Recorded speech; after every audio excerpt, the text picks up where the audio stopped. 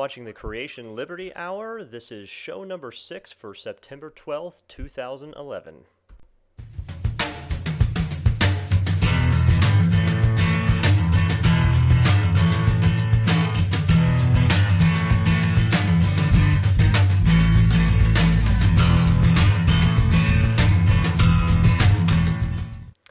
Well, thanks for joining us, everybody. My name is Chris Johnson. I'm the founder of Creation Liberty Evangelism, and our ministry's purpose is to win the lost to Christ and to present the truth of science and God's Word. And we hold to the position without apology that God's Word is literally true and scientifically accurate, and that evolution is not just a dumb theory, it's one of the most dangerous and destructive religions in the history of mankind.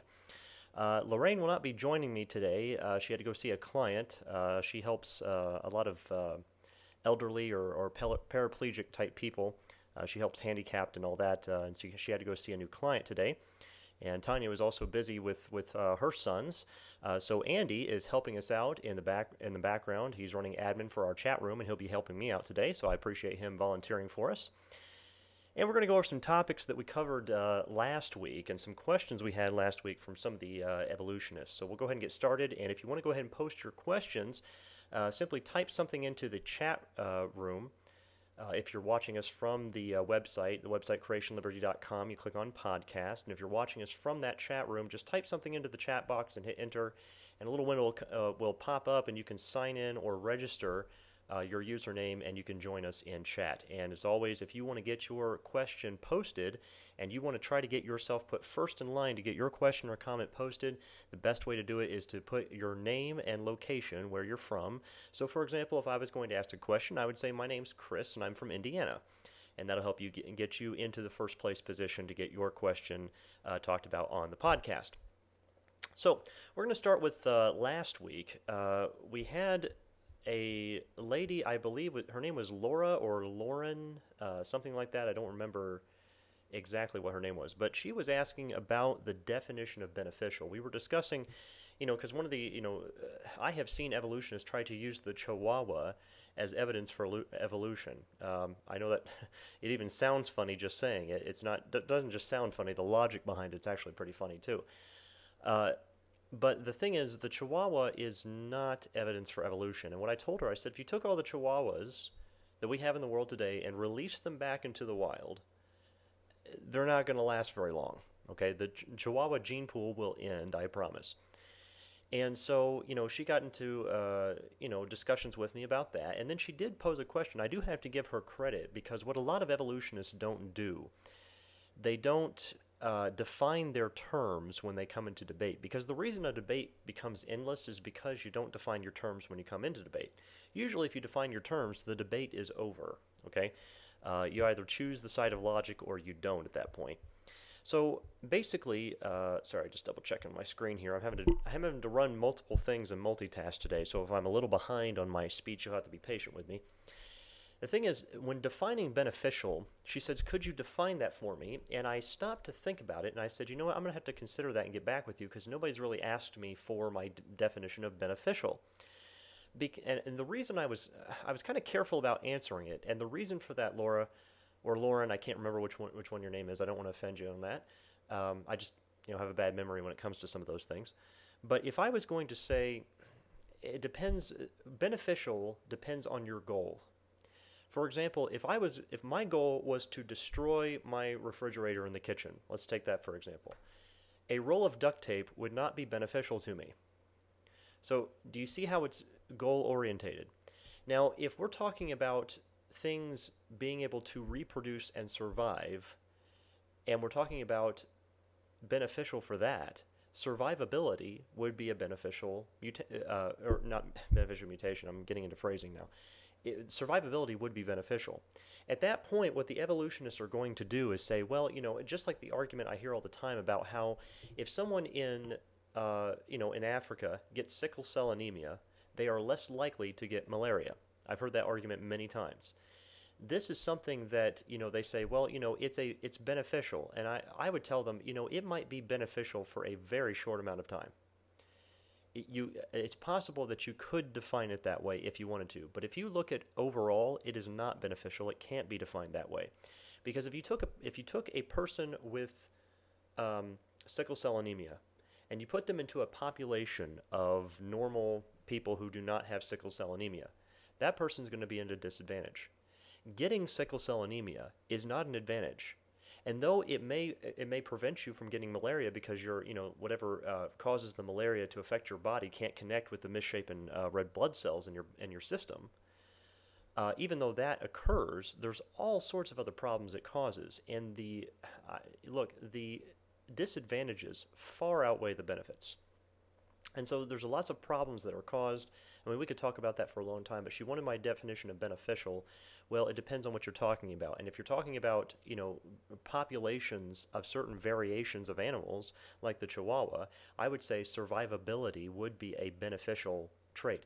Now, what traits are those? Well, for example, you know, if somebody wants to argue, well, the Chihuahua is smaller, so therefore it can hide, it's easier for it to hide. That's true, but dogs have to do certain things, you know, like hunt, and that, those kind of things in order to survive out in the wild. That's what we see from dog, you know, wild dogs and wolves and coyotes and things like that. They have to hunt in the wild to survive. The Chihuahua is not going to be able to do this. It might be able to hide, but that's about it. And you know, it's going to come up to something and yelp at it, and that's about all it can do, and it's going to get eaten. The Chihuahuas would not survive under normal conditions in the world. And the thing we have to consider is that the Chihuahua only survives because of unnatural selection. See, the evolutionists claim in natural selection is, you know, you know, benefits their theory that the natural selection process, but it doesn't at all. Natural selection is actually against evolution for all sorts of reasons, okay? Natural selection is going to select against mutations like a chihuahua because they're not beneficial in nature. Nature has a certain level of survivability that is required in order to live, in order for that population to survive. So nature's going to select against it. The only reason we have chihuahuas is because of unnatural breeding, unnatural selection that's been caused by humans, not by nature. So basically, to argue that the Chihuahua is somehow evidence for evolution is the same mistake that Darwin made. Because if you read his book carefully, he gives you tons of examples of unnatural selection, like he uses horse breeding, and then tries to you know extrapolate that to say wow this you know this is going to happen in nature and we don't see that at all there has been no experiments ever done that has ever showed that something like a chihuahua is going to come out of nature okay even things like you know the cheetah is moving to the genetic fringe. Not, not many of them are going to keep surviving because it can't go past. You see, what's happening is that the evolutionist and the Chihuahua and the cheetah are staring right at the border of the kinds, the biblical kinds but they can't see it because they don't want the Bible to be true. They want to start with the preconceived idea that there's millions of years of evolution, which has never been proven right in any kind of scientific means. But they're staring at it right in the face and they can't see it. And that's why we have to be careful of our presuppositions. And I do, I claim fully that I come from the presupposition of the Bible. I don't come from a presupposition of millions of years. I start with the Bible, which says they're going to bring forth after their kind, and I argue that there are genetic limits to the, to the variations you can get in kinds. Whereas the evolutionists will say there are no limits, okay? Just like you might be able to get, you know, bigger pigs, but you won't get a pig as big as Texas, okay? You might, and you'll have, you know, different variations. Some things will, you know, select for variations that'll be beneficial in some areas and some for not. But all of these things were in the gene code originally, and they have slowly deteriorated to the points that they're at now, where they might, you know, like for example, Florida rabbits can't interbreed with Alaska rabbits, but, the, but both Alaska and Florida rabbits can interbreed with rabbits from Minnesota. But you know, if you get too far apart down the genetic code, down the genetic line, it stops at a certain point. point, and once you get to the fringe, certain animals, certain of the same kind, may not be able to interbreed with each other at that point. But if you bring them back into the regular population from the central area, central location, they can breed with each other. They've just gone to a genetic fringe and they can't go past that. And so, the, uh, again, the creationist argues there's a genetic limit to these changes, and that's exactly what we've seen in observable science. Okay, you can't braid wings onto a onto a horse and make him you know go faster. All right, it's just not going to happen. And but the evolutionist has to believe that all these things are limitless, and that's just not part of science. So I just wanted to uh, make sure we came to that. Let's see. Here, I'm going to check the uh, chat here. Andy's helping me out with this. Uh, let's see here. Caleb asks, uh, why don't bugs slowly get bigger in order to take over the world? We know that bugs have the ability to be extremely powerful, Except they're too small. How would an evolutionist explain this? Well, I don't know how an evolutionist would explain it because I'm not an evolutionist. But if you're asking why bugs don't get incredibly huge, uh, if you watch our seminar number two, in fact, I just gave that seminar on Saturday. Uh, a lot of people really enjoyed that. You can watch an older version of that seminar for free on our website. If you want to see the new updated version with all the new information, uh, you can order that from us on our on- online store, uh, the Creation Liberty store, which is on. If you're watching us on the uh, the podcast uh, website, creationliberty.com, you click on podcast, that kind of thing. You can see on the left hand side there's the online store. You can get that there. But the uh, we explain more about that. What happens with insects is that there's a what you call a surface area to volume ratio problem. Insects breathe through their skin through little things called spiracles. They're tiny little holes in the insect skin they breathe through. Now, insects, because they breathe through their skin and because they're you know of their exos- exoskeletons and because you know they weigh so little, like for example, an ant can fall out of an airplane, hit the ground. Excuse me. It can hit the ground and then get up and start walking again. And him falling through air is almost like us falling through water. It's basically not going to hurt him because he is not as dense as the air around him is. Um, so, but anyway, insects, that's a whole other thing. The point is that insects breathe through their skin. So, how much an insect can breathe uh, also depends on how much surface area it has. And if you, you know, if you're learning science in high school, uh, I'm not sure, Caleb, because I can't remember how old you are. I remember discussing that. I think I don't know if you're still in high school or not. If you're learning in some of your science classes, you have something uh, called a surface area to volume ratio problem with, and, and I don't know whether they'll teach this on insects or not. But if you had, let's say you had two ice cubes sitting out on the table, and I had cut one of them in half, which ice cube will melt faster? The one that was cut in half. Well, the question is why? Well, you've increased the surface area. As you cut it in half, now you have more surface area to the volume. So as an insect gets bigger, if you can imagine a ball, as it gets bigger and bigger and bigger, eventually there's going to be, I mean, it's both the surface area, just like if you blow up a balloon, both the surface area and the volume increase. But as it gets bigger, the volume is increasing faster than the surface area. So your surface area to volume ratio, there's a, there's a ratio problem here. As an insect gets bigger, it eventually has more volume in ratio to the to the um, surface area than it does when it's smaller. So when it's smaller, it's it's more efficient, and as it gets bigger, it would have to have certain conditions on this planet to allow it to grow to great size. And if you watch our seminar number two, we do cover how they found you know fossilized centipedes eight feet long have been found, uh, fossilized cockroaches 18 inches long uh, fossilized spider legs found three feet long. I mean, there were giant insects on this earth at one time, but they cannot get that big today. Like for example, there's um, a I have a photographs of a replica that was made of a. They found a fossilized dragonfly with a 28 inch wingspan. The, the largest wingspan I have ever heard of is like a 50 inch wingspan dragonfly. I mean, you hit this thing going 60 miles an hour down the highway, he's not just going to squish on the windshield, he's going to join you in the front seat. I mean, these things were enormous, but they cannot, a, a, a, dragonfly of that dimension could not fly in today's atmosphere. As well as, you know, they find like 40 to 60 foot wingspan pterodactyls that could not possibly fly in today's atmosphere. There just there, there wasn't enough um, pressurized oxygen, uh, or excuse me, a pressurized atmosphere for them to fly. If you had oxygen under pressure in what you call hyperbaric oxygen conditions, and we, we cover reasons why the pre flood atmosphere, I'm not going to go into details on it right now, but we cover that on seminar two why the atmosphere had a, a, uh, a hyperbaric oxygen to it according to the biblical model uh, then it would have allowed for larger insects. They could breathe under those conditions because as it gets bigger in, in, today's atmosphere, it won't get enough oxygen to breathe because you know there's not enough surface area to how much volume is in there.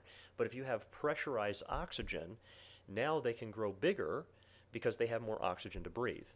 So I hope that that makes sense to you on why bugs cannot get you know slowly bigger and become huge. I think the largest, like for example, the probably one of the largest insects. Um, and I would say I don't know if it's the largest insect or not, but the largest spiders are the uh, I think they call them the Goliath tarantulas, which surprising. I mean, they get a foot long. I mean, big tarantulas, and surprisingly, uh, they say they're friendly to humans.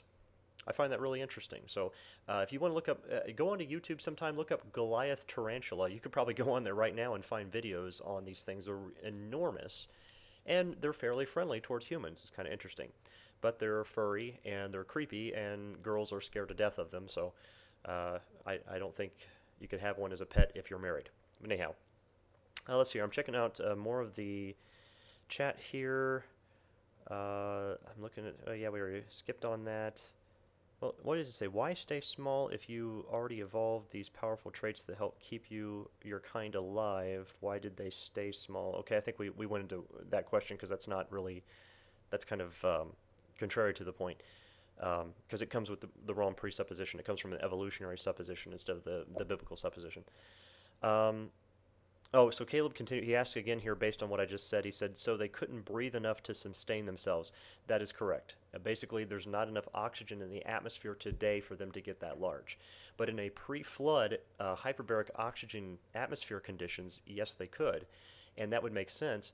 Um, as to why there, uh, how there was more oxygen in the past than there is today, the evolutionists do not have an answer to this one. I've never even read a good theory on the subject. However, I do reference, if you watch uh, my seminar number two, I do reference to where uh, there are some scientists. I mean, one of the articles I referenced to, you know, they claim that lack of oxygen not asteroids killed the dinosaurs, as I, I, referenced to an article where they talked about that, because one uh, evolutionist was analyzing pat- an 80 foot tall Apatosaurus and said, wait, this thing has nostrils the same size as a horse. So, how could it get enough oxygen to survive? So he said there had to have been a higher level of oxygen in the atmosphere in the past for a creature to get that big. And I agree with them. I just think that the, the creationists have an answer to this. The evolutionists have no idea how to handle this one.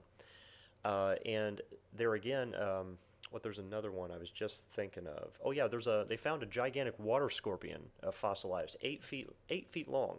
See, I'm I'm six feet tall. This thing was eight feet long, uh, huge water scorpion, and the geologist that was analyzing this thing said there had to have been an enormous amount of oxygen in Earth's history in the past for something like this to get this big. You see, the evolutionists will just keep studying their science. Eventually, they're going to say, wow, the Bible's true. They're getting there, they're getting closer with every step, and if they'll just keep doing that, just keep climbing the mountain of truth, they'll find out that the Baptists were sitting at the top all along, right? So, anyhow, uh, let's see here. We're going to go on to uh, the next point because I don't have any more questions right now. So we're going to go on to the next point. I'm relying on Andy to keep a uh, keep an eye on the chat room because I, I can't even see it right now. i have got too many things up on my screen. Uh, I put out a new article today. I'm going to post this on the Facebook group later for those of you that don't get a chance to um, uh, see this. Uh, well, then why am I telling those that don't get a chance to see it? I don't know. Anyhow, uh, if you want to follow along with what I wrote here, I wrote some stuff on the Ica stones today. If you're watching from the website and you don't want to interrupt the stream, you can right-click on the left-hand side on the button that says Q&A. If you right-click in there, you can select Open in a new tab. Some say Clone tab, some say Duplicate tab, something like that. Go ahead and click on that. It'll open up a new window. I'm doing this right now as we talk about it. And uh, it, at the, the very first question on the list should say, are the Ica stones fake or real? Now, I had a long time ago a guy, I forget what his name is now. Oh, gosh, I've read his name like three different times today because I went and looked some stuff up. Maybe, you know, it's at the bottom. Let me see what that is. I'll look it up for you guys. That way you guys can look him up later if you'd like to. Uh, yeah, his name is K87 Jury on YouTube. What happened was I was reading, uh, or I can't remember, I was talking to an evolutionist on email. I can't remember what it was exactly, but they referenced me to this K8 K87 jury. Okay? And they said, check out his video on the Ica stones, and that'll show where you're wrong on the Ica stones. Because I show Ica stones, you know, in my seminar two and three on, on dinosaurs in the Bible and showing uh, ancient man being intelligent and things like that. And the thing is, I went to watch his video. It's about two and a half minutes long. He, he provides no references whatsoever and just basically says the whole thing's were all of it was faked. So I happened to just put a comment on there. I said this was a waste uh, two and a half minutes of my time. I said this somebody sent me this thing, and I said there was no information. There's nowhere I can even go to research anything else. I mean, you provided nothing with this, so this really is a, it's kind of a waste of time. boy, he got mad after that. He just, you know, he started posting all sorts of response videos to all my videos, just complaining. He has a very, uh, you know, I, I hate to say this about him, but you know, he has a really hate-filled uh, YouTube channel. I mean, his entire it's just filled with a bunch of videos that just hate, hate, hate Christianity, hate Christians, Christianity in general. He hates God. If you're Christian, he hates you, and that's the way he handles it. Um, I'm sorry that you know how you if somebody hurt you along the way and that happened to you. I'm sorry about that, uh, but I don't see a reason for for all the hatred. But anyhow, he. Um, he posted this on there, and so what I did is I posted this uh, article as kind of a re- kind of an answer to this, that gives the real references. Um, I have some pictures on on this article of the uh, the different Ica stones. You can see I don't go into too great of detail. Um, if you want more detail, again, watch Seminar Two or Seminar Three. Uh, that are available for free on the website. There's some older versions of those seminars on there. I still need to get all my versions updated online. Uh, I haven't done that yet. But uh, this is, uh, I, I, start to demonstrate that there's some people that write all sorts of things on, about these Ica stones that are just false. I mean, one of the guy's article that uh, seems to be a fairly popular one because it was it was published in a couple magazines was this guy named Philip Coppens, and on his website, I referenced to it on here. The the links at the uh, right below the quote, if you want to see. He calls uh, Dr. Cabrera, who's the guy that owned. I mean, he he's deceased now, but he had the largest collection in the world of these Ica stones, and he called Dr. Cabrera's father, called his name Bolivia, when Dr. Cabrera's father's name is Dom Pedro. So I don't, you know, and there's all sorts of mistakes and things like that in his, you know, I didn't bother to go through because I could show you, you know, 20 different mistakes that he made in just basic information. Uh, which shows the level of research that some of these people are doing with this. The thing is, what you have to understand before we go over these Ica stones is that if the Ica stones are real, it destroys the evolution theory completely. So the evolutionists need these to not be legitimate in any way, shape, or form they can get. Now, some people say, well, you know, there are some fakes and frauds made. And that's true. I don't claim that every Ica stone that's out there is real. Some of the people that are some of the people are making these things up. Okay, uh, some people have admitted to uh, you know creating forgeries and all that. But just because people have made some fakes and frauds does not discount the evidence of the real thing. Just as you know, you know, you have like Loch Ness monster. I talk about this on um, you know seminar three. That you know the Loch Ness monster. I mean, I would not trust the Weekly World News. I've got a picture of the Weekly World News showing you know Loch Ness monster has a baby with these with these doctored photographs. I wouldn't trust a source like that for your information on the Loch Ness Monster. And just because someone takes a picture of a stick coming out of the water and calls it the Loch Ness Monster, and then it's proven wrong, the evolutionists just jump on that and say every single report is false. that is so childish, it's unbelievable that they do that kind of thing. But they do it here with the Ica stones as well. So um, here's uh, some of the problems. We have some scientific and archaeological problems with those who want to say that the Ica stones are that there's no legitimacy to any of the Ica stones. Uh, this is a quote uh, that I have I have reference to on here that says Father Sim, uh, Simon, Father Simon, I guess is how you pronounce his name, a, Jesu- a Jesuit missionary accompanied uh, Pizarro along the Peruvian coast and recorded his amazement upon viewing the stones. This was in 1535. In 1562, Spanish explorers sent some of the stones back to Spain. So the point of this is to show that in 1535, the Spanish conquistadors coming over uh, to South America found were, were finding these strange stones with carvings of dinosaurs on them. They didn't they didn't call them dinosaurs at the time. They just said they're strange creatures on these stones. So here here's the thing. You know, because what they do is they claim, oh, people are just making these things and burying them in the ground or something like that. They're just making all these. Well, how, are you are we to believe that 500 years ago, someone living in South America was just carving these stones just to fool the evolutionists 500 years later? Who would have the time to sit around and just carve these stones for no reason whatsoever? And uh, but they have to believe in such things in order to discount the credibility of the Ica stones. They've been finding these things for hundreds of years. And I write here that in 1967, Dr. Cabrera picked 33 stones out of his collection and sent them to, it says, Mauricio Hochschild Mining Company in Lima, Peru, to be examined for age and tested they, if they had been recently deposited by a grave robber who was carving them just to make extra money. So he was testing these to find out if we could find age. Eric Wolf, a geologist who worked at the MHMC laboratory, sent back his signed analysis, and here's what he said. He said the stones are covered with a fine patina of natural oxidation, which also covers the grooves by which age should be able to be deduced. So he's saying there should be a way to tell how the, old these things are, but they couldn't do it at the laboratory there. They weren't qualified, so he sent it somewhere else. Uh, and I, I, quote some th- some other people who are saying that the, that there were was an oxidation patina on these on these things. Uh, but this is uh, from F.G. Hawley, who's an experienced chemist and archaeologist. He said many artifacts in dry Western country show little or no patina after seven or eight hundred years. So just what by what he's saying here, the very fact that it has an oxida- oxidation uh, patina to it is showing us that these have to be, you know, at least seven to eight hundred years old. So people I mean, the the stones that he has, that Dr. Cabrera had in his collection, which I think belong to Dr. Dennis Swift now, if I remember correctly. I think they've been uh, sold uh, to some places. Like, for example, I've been to uh, I've been personally to Pensacola, Florida, to see the largest collection in the United States. And I find it funny that so many of the evolutionists that scoff at the Ica stones and scoff at the Bible at the same time, uh, they've never actually seen them themselves. They've never even gone to even even check it out. Um, but under microscopic analysis, we can tell that because of the oxidation coating patina that it has on the grooves, they have to be hundreds of years old. So the people, I mean, if they want to claim that people have carved these, you have to get around the scientific and archaeological evidence on this. Uh, and you know, one of the, the guy in the video that uh, what K. 87 jury, yeah, that guy. He, uh, the video I think is called uh, "Debunking Creationist Ica Stones." You can go check that out for yourself and see him uh, scoff at this. Uh, he's only got. I mean, what happened is as soon as I, I posted that comment, he post he did post one reference to all the information he had. He posted one reference to a skeptic website.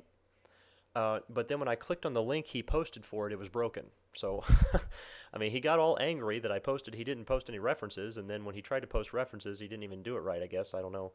I don't know what happened there. It, it may have moved or something. I have no idea. Uh, but it's just it's so ridiculous, I think, for him to get so angry over that. Uh, but he showed, he said, and I quote him, he said that the stones showed evidence of having sandpaper used on them. But here I have uh, Ryan Drum, who's an American biologist who examined these. He says, I have examined the rocks at 30 and 60 magnification in a stereo microscope and found no obvious grinding or polish marks. Well, I think at that magnification, he could tell if somebody was rubbing this thing with sandpaper uh, but he said there were no grinding or polish marks. So, I mean, there seems to be some problems with, uh, you know, with the evolutionist claims versus the scientific data we're actually getting on these Ica stones. And so some people are saying, well, why don't we get some of these Ica stones, you know, brought over to the Amer- America and really analyzed? Because who's going to pay for that? Who is going to pay for their precious evolution theory to be proven wrong? Nobody's going to do that. There's a I mean, uh, folks, I keep saying this over and over. Evolution is a multi billion dollar industry. Uh, and you have to treat it, so, when you ask these questions, you have to treat it like it's a multi billion dollar industry because there's grant money, there's book deals, there's, you know, traveling, speaking engagements, there's tons of money wrapped up into the evolution theory. So, and of course, you know, the teachers and their, you know, the positions of these doctors and people who are making, you know, you know, five and six figure incomes, they definitely do not want to, you know, relinquish those for some evidence that proves that the Bible has been correct all along. That is something they definitely do not want. Um, and so, another common evidence that's used against the Ica stones, I'll mention this uh, last piece of this, and then uh, we'll go on to some more questions if we have them.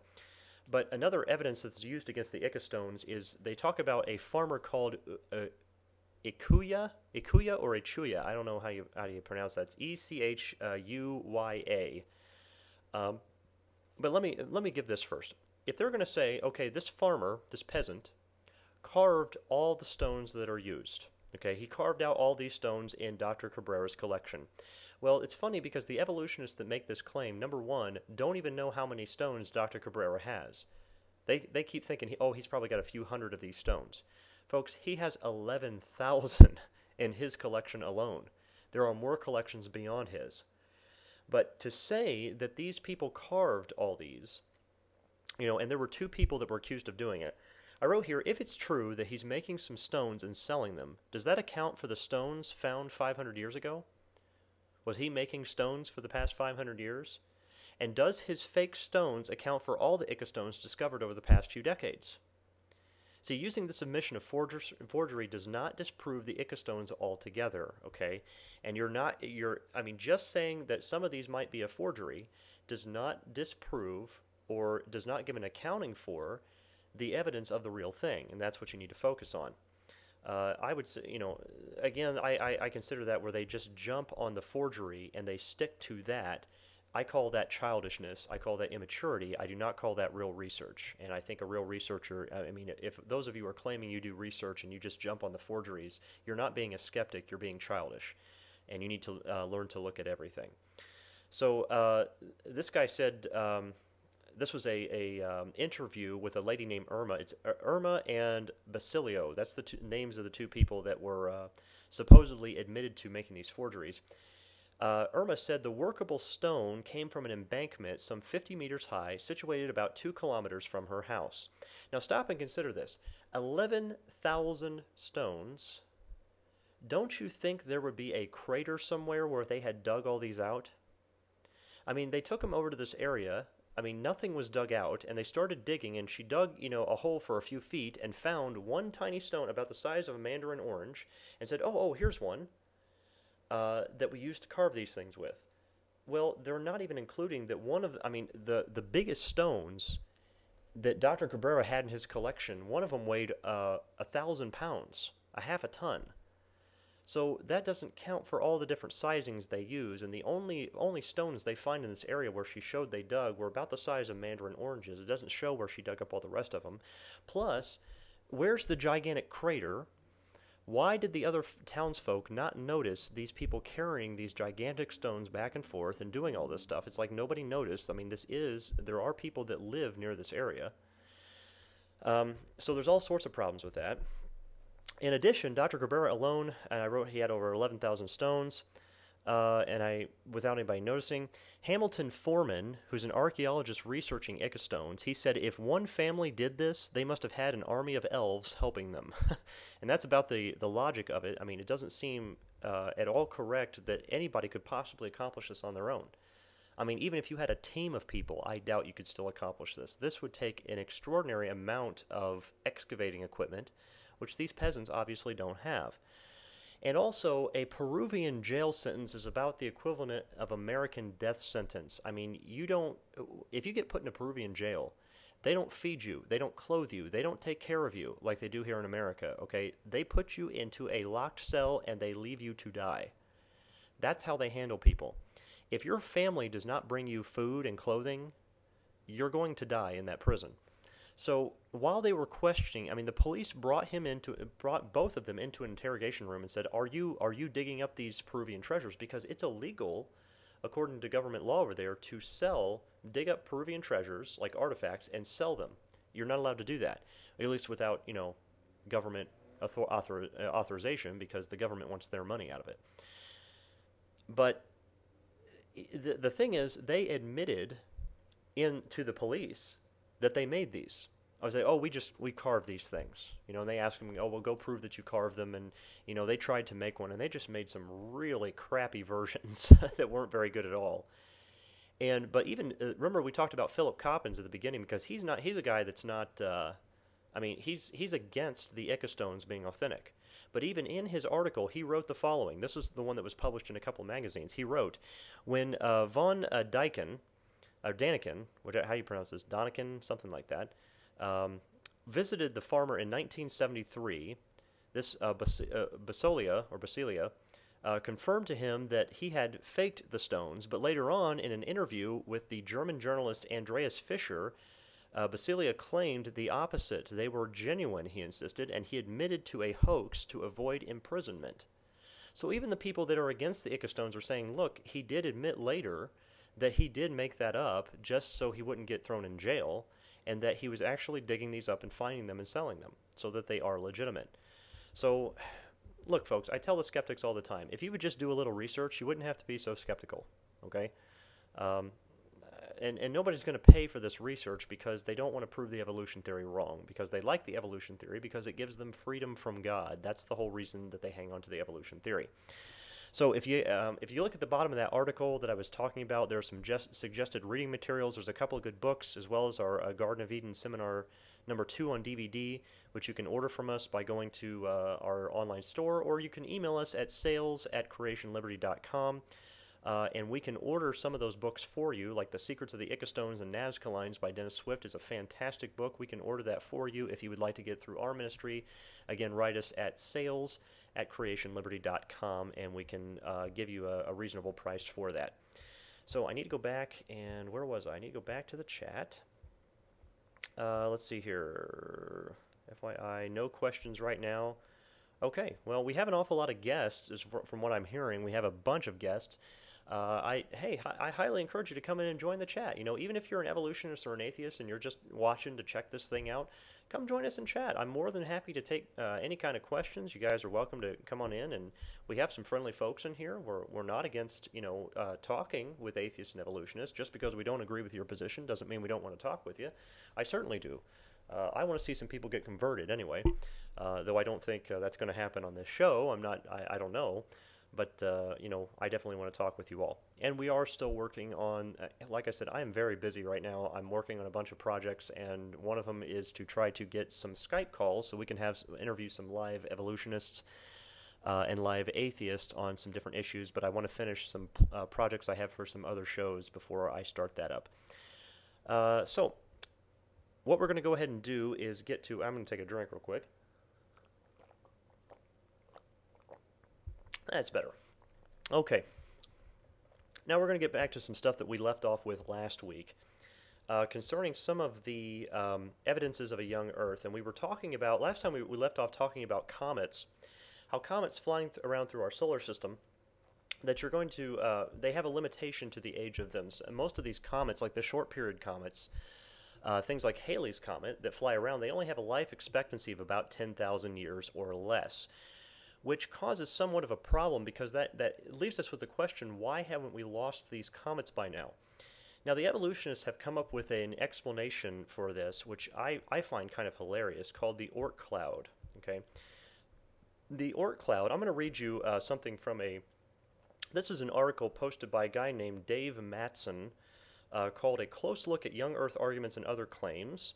And this is what he wrote in there. He said in, in 1950, based on a study of the orbits of several long period comets, the Dutch astronomer Jan Oort proposed. Proposed means he wished and hoped and prayed that there was a spherical shell of comets. He says that a, a great spherical shell of, of comets existed at the remote frontiers of our solar system. Now, he proposed this based on what, what they call the Hubble constant. And you have to be careful uh, I think I write more about this on. There's an article. If you click on, uh, you know, like I said, you right click, open a new window on articles, and there's an article called the Big Dud Theory. I, I cover more on what they call the Hubble constant. I have to put in quotations because the Hubble constant is not a constant at all. Uh, because it's all well. First of all, it's always moving, so you you don't really know what your constant is supposed to be. Um, but there's all sorts of mathematical errors that can be obtained from Hubble constants and I'll just read you a couple co- quotes real quick. Uh, this one is from Carl Sagan, uh, and he's uh, he's a profound defender of evolution. He claims to be a Christian, uh, but I I don't know if I believe that or not. Uh, but he he believes strictly in evolution. Uh, I and the thing is, here's what he said. Even this was even concerning the uh, the Oort cloud. He says many scientific papers are written each year about the Oort cloud, its properties, its origin, its evolution. Yet there is not a shred of direct observational evidence for its existence. And he believes in evolution. He says, look, this just it doesn't make any sense. It's not mathematically possible. Uh, this is uh, Raymond Lyttleton in an article, he, a science article he wrote for. Um, this is in the Journal of Astrophysics and Space Science, Volume 31, 1974. He wrote, Oort proposed a cloud of comets surrounding the solar system based on mathematical errors. So there's a lot of credible people that would go on record and say, look, this Oort cloud, it doesn't exist, and you guys need to prove that it exists. But I want to go back to this Dave Matson article. Uh, I'm I can read this off to you. I guess if you guys want to see if you can find it, I'll read it off to you slowly. The website, a specific link is www.evolution-creationism.us slash young underscore earth slash comets.html. I'm sure nobody can type that fast, but I just want to tell you where I'm getting this from in case you go back and watch, watch this again. You can see it for yourself. Uh, and I'm going to go look at his article right now. This is very interesting. Um, it, it's hilarious. This this is about uh, the fourth paragraph down. If you take a look at it, he says the creationism's main argument seems to be that we don't have close-up photograph photos of the Oort cloud. Stop right there. That's not the main argument. The main argument we're saying it doesn't exist. It's based on mathematical errors, and yes, we don't need close-up photographs any photographs, any kind of indication that this thing exists at all, we do not have. So if I mean if you're going to claim something we have absolutely no evidence of exists, then you better have some evidence. I mean, you need to have something extremely strong and log- logical to back that up. But watch what he does here. Um, he says that the uh, creationist argument seems to be that we don't have close-up photos of the Oort cloud and therefore cannot be 100% certain that it really exists. I agree. And here's what he said to this Sorry, fellows, but if you want to use this comet argument, it is up to you to prove beyond a reasonable doubt that the Oort cloud and other sources don't exist. Are you kidding me? How do you go about proving the non existence of something? Don't you have to be all places at all times at the same time to prove the non existence of something? You don't just tell people, you prove it doesn't exist. I mean, Come on, you're trying to shift, it's what you call shifting the burden of proof, okay? And you can't do that. We have no evidence that such an Oort cloud exists, and that, but that, they, you see, the, the evolutionists, they have to hang on to the Oort cloud, even though they know they don't have any evidence for it, because they have nothing to replace. They have no theory to replace the Oort cloud. So, I mean, and this is common for the evolutionists to make up things that produce things uh, all the time, and we're going to cover more on that as we go through some of the evidences of a. Uh, some of the evidence of his young Earth here. That we're going to talk about some of that stuff. Let me let me double check here and make sure we got no questions or anything because that might have popped up a few things. Uh, no, it looks like we uh, so far so good. Uh, so far so good. Yeah, that's that's the phrase. That's how you use that. So we'll keep going here. Uh, we'll probably just go for a few more minutes and then I'm going to put uh, go ahead and uh, stop for this episode. But one of the interesting things is that magnets lose their strength over time you know, you stick a magnet on your refrigerator. I don't know if anybody, any, any of you um, who are watching this have done that. If you stick a magnet on the refrigerator, as it stays there for so long, I don't know months or years depending on the magnet, it slowly starts to slide down the refrigerator because it slowly starts to lose its magnetic properties. So magnets lose their strength over time. Now, what you also have to understand is the Earth is a gigantic magnet. I mean, that's basically what it is. It has a huge magnetic field. But the Earth's magnetic field is getting weaker slowly over time. And this is causing a problem.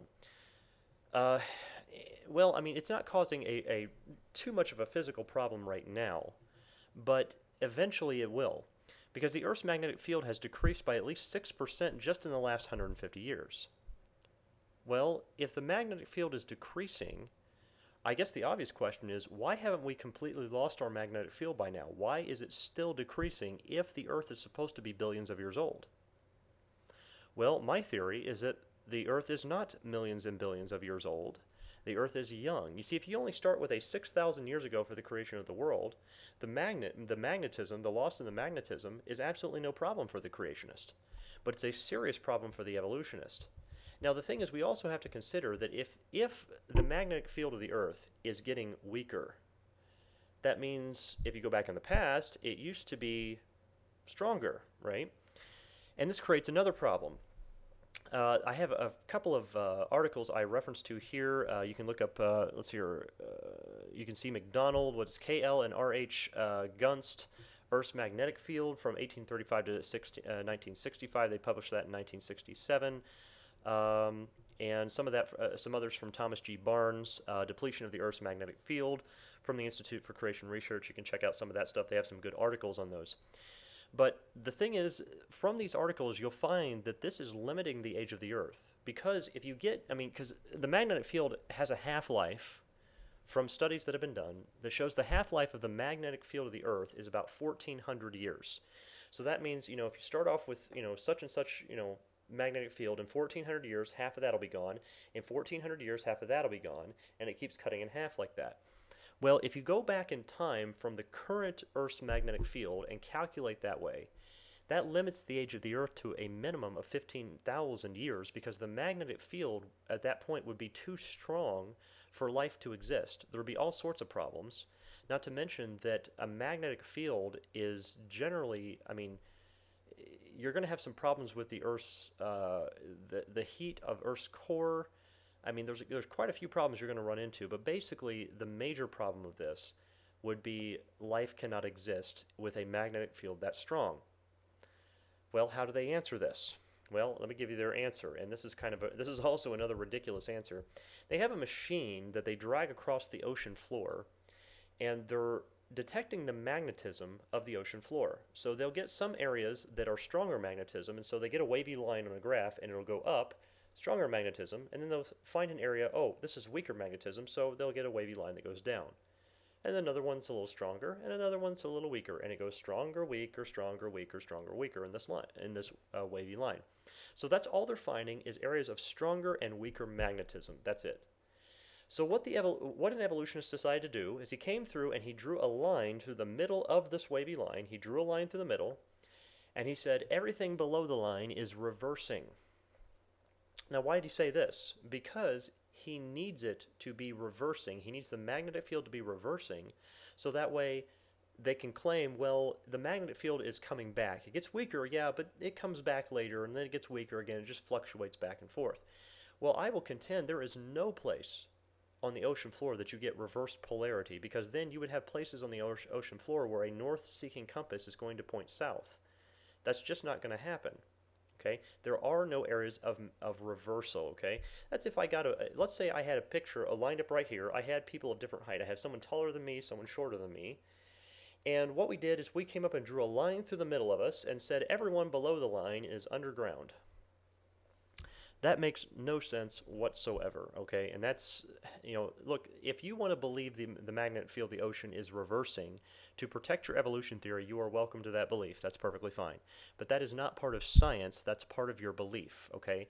And trying to, you know, tell, if you tell, go out and tell people, I have evidence of this, we have the scientific evidence that proves this, okay, that's where you're lying about your theory.